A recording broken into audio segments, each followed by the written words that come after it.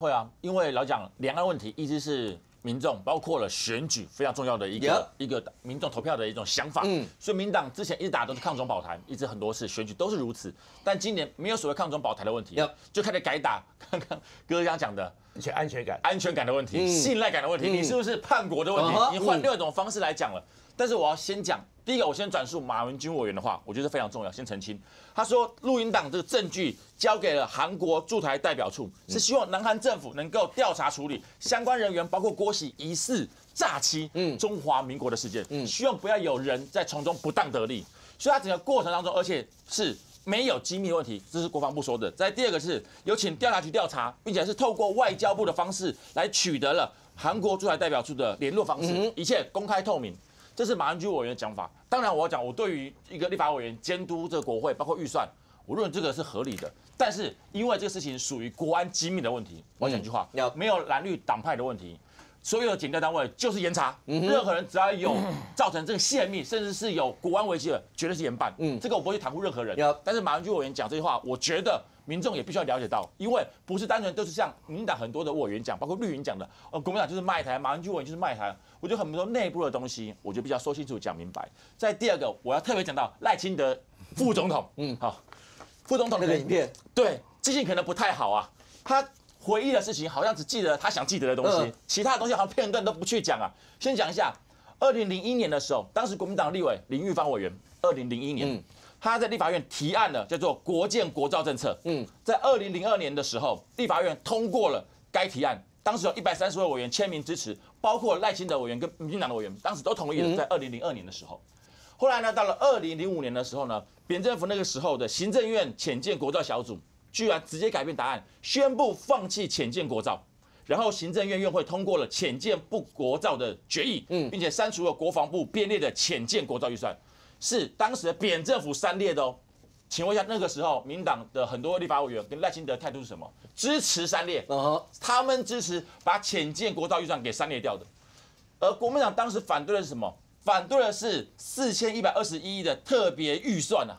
因为为什么国民党那时候会反对？因为这个预算是长达十年，而且高达四千多亿的预算。但问题是，当时行政院院长尤喜坤在提出这预算的时候，他根本就没告诉立法院所有的预算的内容啊。嗯那个时候连浅见的型号、吨位都不知道，就叫立法院买单开公投支票，让当时的扁政府能够为所欲为。所以对于呃，在野党角度，不要说国民党了，当然是反对嘛，不可能是完全不知道情况之下给你这么多的预算。但问题是，国民党不是反对浅见，也不是反对国防，因为相关的争议包括了浅见可行性评估，在二零零七年的国防预算中，相关预算在立法院就获得通过了。嗯嗯，国民党一样让你通过，只是希望能够说清楚、讲明白，捍卫民众的权益。觉得这有什么问题吗？哦但赖清德副总统他只记得啊，你们国民党挡我啦。可是光那一句话，刚才创下一直说那个重点在那一句话，说国家被你们搞完啦，或者他们现在就一直放这句话所以我说民。党很厉害啊，这他重点抓得很好。对这些委员还有个内幕，赖清德选的那一天还是有特别的意义，对不对？你自己可以补充一下。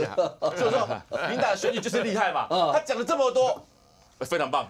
介绍一下，没有回应可以放一些费宏泰的给大家品汤一下。所以，我们的言语语言教育，国民党要加强啊。讲话吵架就要讲重点，不要放费宏。泰，放一些费宏泰、赖世宝英勇的画面啊！所以我说这东西我们讲清楚、说明白。国民党从来就没有去扯台湾的后腿我们也没有去挡所谓国防的预算。很多国防预算的编列的冻结，或者是等等的删除，是根据当时的情况来做出决定的。嗯国民党的委员有做同样动作，民进党的委员也有做出同样的动作。OK，所以不要好像看到这个赖清德这个选举到了，我把他之前哇捍卫国家、捍卫台湾的影片拿出来，讲的好像跟真的一样。但事实真的是只有赖清德副总统讲的这一段吗？嗯嗯，还有很多的东西，我们也希望绿营能够开诚布公，把所有的结果让民众所知道。我觉得这才是公平合理的嘛，让民众得到完整的资讯，才是一个选战正确的方式，而不是用以偏概全。以前是抗中保台，现在呢是什么捍卫捍卫台湾，哦国民党是背叛台湾，这种主轴，我觉得虽然讲起来有利，但是太简单，太瞧不起民众了。我希望民党接下来能够让选举更公平公正，而且不要用这些我老实讲不是很入流的手段嗯来欺骗民众。我真的觉得这样非常的不好。今天现场的来宾里面有两位，一个是郑浩，还有一个是巨建伟。都针对这次潜舰的事情，郑浩是说叫马文君退选，然后面对司法，俊宪文也有提出像这样一些的呼吁。郑浩为什么？为什么要他退选？他都已经解释成这个样，刚刚博弈也也有有提出他的一些说法。我跟你讲，这很难不被抓了。我坦白讲，因为这马文君，博弈刚解释就是马文君昨天的脸书贴文呀。这个脸书贴文，坦白讲叫犯罪自白书，哈，这真的很惨啊，真的很惨。犯罪自白书我们带大一点。重要是因为马文就要解释嘛，解释一大堆嘛，对不对？他要先解释他怎么拿到这个录音带，再解释他有问过国防部，对，后来再解释他给韩国嘛，然后这样就只给了英党。对，哎，我我不要去伪那个扭曲他所有东西哦，我一个个来讲哦。你看哦，他说什么？他马上哦拿到录音带之后呢，马上交给国防部的常务次长房茂宏中将。对，房茂宏中将看完后，把音档听完后，他说厂商恶斗，嗯。没什么机密资料泄露，不至于影响潜舰介绍、建建造。嗯，对啊，持顾问跟郭喜吵架，嗯，没有特别的机密资料泄露啊，嗯，因为这些东西他们两个本来就都知道啊。哦，可当你把他们的吵架之东西拿出去之后，那就是金敏珠啊。废话，我们吵架会互揭疮疤嘛。嗯，我跟上一夫两个人私下吵架，上一夫笑我这个酒量差，我笑他这个小气鬼。但我们两个吵架没事啊，因为我们都互相揭疮疤。可是李博一提到要把它拿出去，嗯，就大家都知道我酒量差，他小气鬼啊。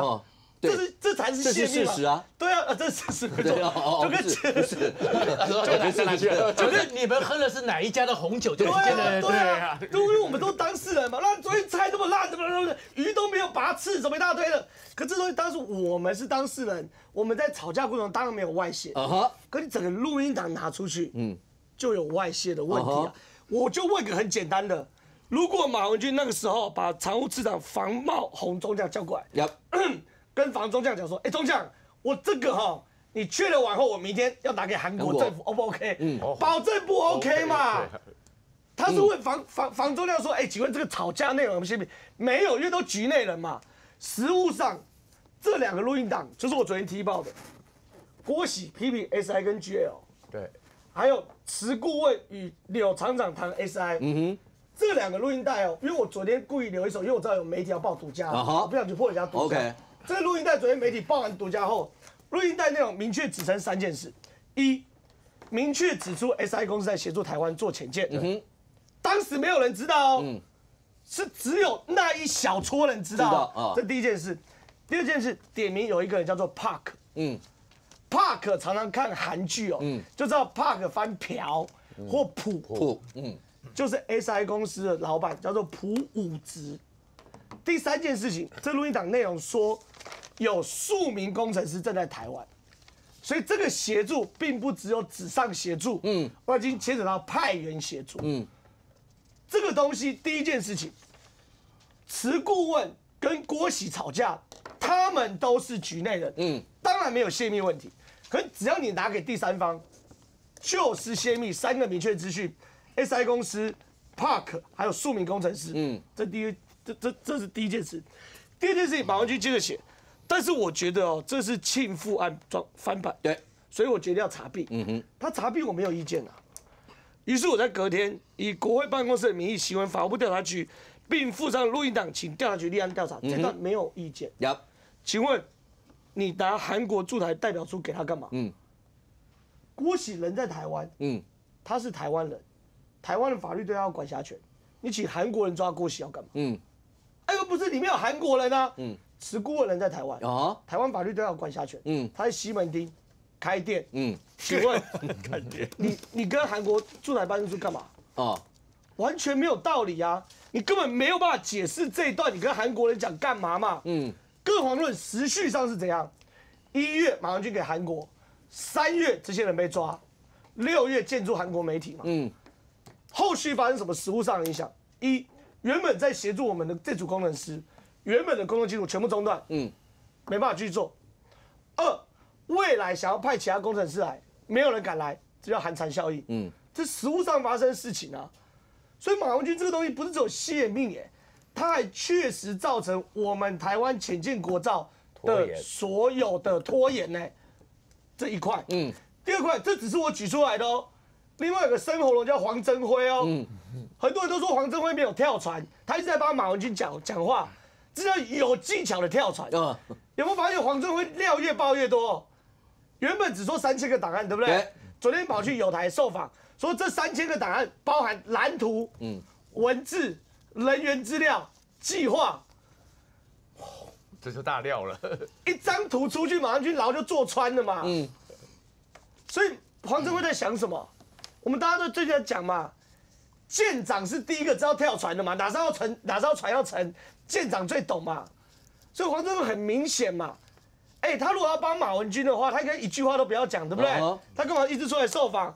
而且料越讲越多，从录音档后来扩张到三千个嗯档案，三千个档案扩张到蓝图、文字、人员资料、计划。嗯，马文君当然强调只有给录音档啊，是，可是黄镇辉如果被高检所传过来，他变成这个案子的小杜主任嘞？嗯，好，就算黄镇辉讲的不对，光是录音档就我讲的嘛，里面已经有三大机敏资料嘛。嗯，请问马文君怎么可能逃得掉？嗯嗯，素材公开具体建议啊，不用选连任，专心面对司法。哦，OK，我觉得对他比较好啊。嗯，来来，不会要回我先讲，马文君委员的事情还是一样，回到一开始讲的司法问题，请检察直接处理，了这个绝对没有包庇的问题。但是我想跟各位请教一个问题：什么叫泄密？嗯嗯，这个讲的非常重要。嗯马文君委员将录音档给了南韩政府，我相信没有争议，嗯都讲了，确定有。但泄密的定义是什么？泄密的定义是马文君委员如果将这录音档给南韩政府，造成了台湾的损伤，嗯嗯，造成我们国防受伤，这个叫泄密，毫无疑问。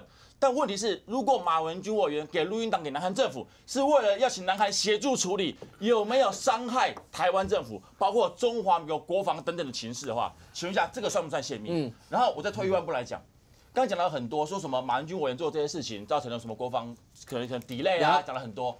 请问一下，为了国防，所以图利某些特定人士是允许的吗我只问这个问题。嗯如果你是图利政府、图利台湾，我觉得完全没有问题。但问题是，现在包括南韩的一些技术人员，包括台湾某一些人士，他们是在这整个过程当中得到了巨大的利益。嗯嗯，请问一下，马文君委员，身为立法委员，把这事情讲出来，让南韩政府来协助处理，有没有争议？嗯嗯，我觉得没有争议，本来就应该如此啊。而且如果他真的没有错的话，我只问一个问题：南韩的那些技术人员为什么回到南韩去之后被逮捕？有可能就是有罪嘛嗯。南韩政府也知道他这是有问题的嘛。那既然马上就我提供录音档是我可以证明有问题，是因为他们前面的潜水艇是德国做的，嗯。那些人参与的是德国，嗯。所以是德国有技术转移的技术保密没协定错嘛。所以当你的诉诸文件之后，而且是国家情报院，嗯。国家情报院就在我们国安局。当年的时候德国球场，所以那家公司还没错因为德国球场韩国，韩国把机密泄给台湾嗯嘛。哼对。所以我来讲嘛，如果单纯的是这个如果这个不是你，你这思维是韩国人思维，不不不不是，我韩没错吧我台湾不是这群工程师不是不是不是不是，你是韩不不不，国人我觉得不是。思维啊我在讲，如果韩国人他泄密给台湾的政府。然后在台湾的政府没有办法做浅见，我觉得马英九委员不应该。嗯嗯，但如果是韩国人泄密给台湾的政府，然后让台湾某一些人能够从中获取暴利哦，我觉得马英九委员就没有做错哦，这是没有对对对重点嘛没关，这是重点所在啊。我觉得不要急哈。马英九委员泄密的东西构不构成泄密这件事情哈？有高检法律告上诉已经在查处理嘛，对啊，到司法处理，对。所所有的法律上来讲，所有的泄密是必须经过鉴定的。嗯，当然，因为这个地方，这个地方我我比较保守的原因有点模糊哈。为什么？因为国防部也曾经说，在当时第一时间说这些事情不涉及不涉及机密嗯啊。那如果国防部自己说不涉及机密，那这批东西的影响到底是什么呢？第一个，这个必须要先厘清 OK 泄密泄密。第二个是政治问题啦，就是马文君委员去联络韩国代表处，这个是很少见的事情。我我我我们大概没有想过自己自己国家的立法委员会跟跟外国在台湾的代表处嗯嗯做这种联系，然而且涉及到潜舰国。情院的代表，嗯好，然后第二个就是说，到底泄密的东西是什么东西？就是到底跟德国二零九有没有直接的关系？目前看起来，呃，可能是跟韩南韩的 SG 集团跟 LG 集团，嗯嗯，联手开发的有关新一代电池的东西有关。那那个跟德国有没有直接关系？这个我们要稍微保留一点，嗯嗯要保留一点啊。也就是说，呃，这里面的可以分成两个部分。第一个是我们的国家利益是什么？这个必须要有一个共识。那这个国家利益，呃，在确定呢潜舰前呃潜舰国造之后呢，大家是不是支持？嗯，那 SG 呃 SI 公司是不是帮助了我们在潜舰国造的一部分？嗯，这个应该是肯定的。嗯，然后第二个部分才衍生出 SI 在在引进技术的时候呢，有没有违违反违反南韩的国内法？嗯，第三个部分才是马文君把这些东西提供给给南韩代表处之后衍生的事情。OK，那但是这里面对国民党来讲比较辛苦的要去解释的，就是说他他要讲马文君没有违反国家利益，嗯，这个会很很不容易解释。没有，但是回过那个帽子一跨大因为因为我因为讲啊他讲泄密两个字之后，就已经没有管后面是什么对啊所以难是难在什么地方？因为 S 还真有帮到台湾，嗯，就算他违反到南韩的国内法，他还是帮到台因为那是湾。韩国人思维啊。问题是不是 不是？我讲韩国的立法委员啊分两个部分，韩国帮到台湾是一件事情但韩国人帮到台湾有没有图利某些特定的人，这又是另另外一件事对，这是两个不同的事情不。是，我觉得这是很简单，大家不用天真到觉得我们在做一个潜舰的时候，所有技术都是正规转移，嗯哼，那都是 under table 的很多。对嘛？网络上有人说有这种思维叫破壳小鸡，嗯，好，还真以为所有都是技正规技术转移，有非正规跟不正，呃，有正规也有非正规。也有处于模糊地带，嗯嗯。可我们中华民国在做这件事情的时候，我们要确保两件事，尤其是海军，一做这件事没有违反中华民国法律，嗯，二做这件事有利于中华民国国家利益。至于他国法律关我们什么事？嗯，老美跟苏联竞争的时候，两边技术偷来偷去，美国这边人会说：“哦，这个东西因为违反苏联的法律，所以说，博颖，你听我讲完，我我懂我懂你听我讲。所以美国的国会议员赶快跟苏联检举，你们有一批工程师在我这边，赶快把这些人抓起来。嗯，老美有人敢做这件事，在美国还需要混下去吗？嗯因为他违反苏联的法律，反过来一样嘛。中国去偷美国技术，嗯，然后中国的这个这个勇勇敢的中国的官员说，哦，这个违反美国法律，我敢跟美国当生喉了。马文君在干这件事、嗯，确实啊，这群人不符合韩国法律，所以在韩国会被抓嘛。可马文君不是韩国的立法委员、嗯，他不是韩国人呢、他把我们的资料拿去给韩国，嗯，让这些人被抓。那至于是不是泄密，我坦白讲，你大家见仁见智，我也没有一定要让大家觉得说我讲的对或我讲的不对。可是我就很持平说，有三个关键性讯息嘛：一，SI 在台湾；嗯，二，负责人叫朴武植；三，数名工程师已经到台湾。大家见仁见智嘛，对不对？可是实物上后面就造成人被抓了，嗯，所以我认为啦，泄密这件事根本不是来自于是有没有利益受损或什么。刚刚博弈讲，泄密我的认知是，只要在网站上不是公告，你拿出去都是泄密嘛。嗯，应该是这个逻辑吧。嗯，或者说我们认知应该这样吧。比如说我随便走去综合区公所，跟承办人讲说，哎、你刚刚签的跟我看一下，承办人叫我去死嘛。嗯对不对？